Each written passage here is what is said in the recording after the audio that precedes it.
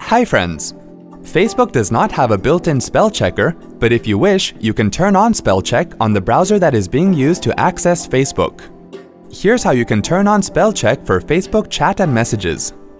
For demo purpose, we are using Google Chrome to turn spell check on. Open Google Chrome.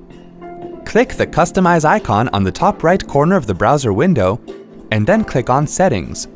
Scroll the screen and then click on Show Advanced Settings. Scroll the screen again and then click on Language and Input Settings. Scroll to the bottom of the dialog box that opens and then select the checkbox next to Enable Spell Checking.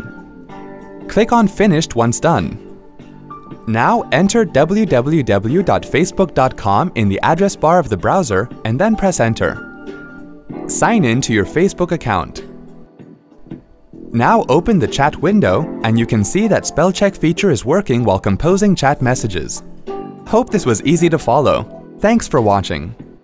To check out more related tech videos, click here. If you have any query or want to share something with us, click here. To get iYogi tech support, dial toll-free numbers. To stay empowered technically, subscribe to our channel.